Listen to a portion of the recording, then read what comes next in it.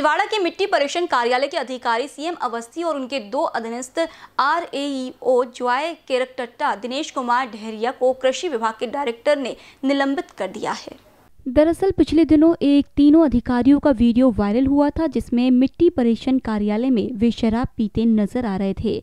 Viral video सामने आने के बाद कृषि विस्तार अधिकारी को जाँच का जिम्मा सौंपा गया था। जिन्होंने वायरल वीडियो की जाँच की तो वह सही पाया गया। जिसके बाद तत्काल S A D O C M Awasthi R A Dinesh Dahariya और ज्वाय केरक टटा को मध्य प्रदेश सिविल सेवा आचरण अधिनियम के तेईस का उल्लंघन करने के चलते निलंबित किया गया है। वही सीएम अवस्थी को सिवनी मुख्यालय दिनेश डहरिया को अमरवाड़ा में अटैच किया गया है।